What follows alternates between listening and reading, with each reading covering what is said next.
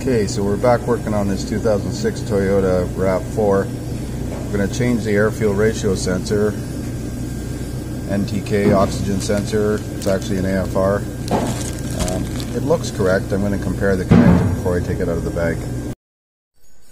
Okay, here's the original TSB from Toyota in regards to that P0138 code. It says check the air fuel ratio sensor and the O2 sensor values for appropriate bank. In this case, there's only one bank.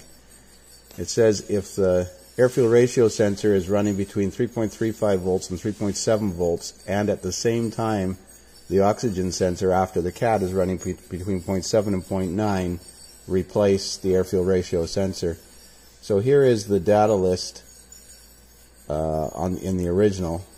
You can see that it was running between 3.4 and 3.45, and the oxygen sensor was reading pretty much flat lined at 0.8 0.8, 0.78, all through this recording here. So I replaced the air fuel ratio sensor. Now here is the, just came back from a road test, and this is with the new sensor. You can see the uh, air fuel ratio sensor voltage is running around 3.31 flat line, and the oxygen sensor is really low, down around 0.12 to 0.15. You can see it fluctuating. I actually thought at first that it wasn't working, but it was running so lean that it was barely working. So I'm going to call this one fixed for now.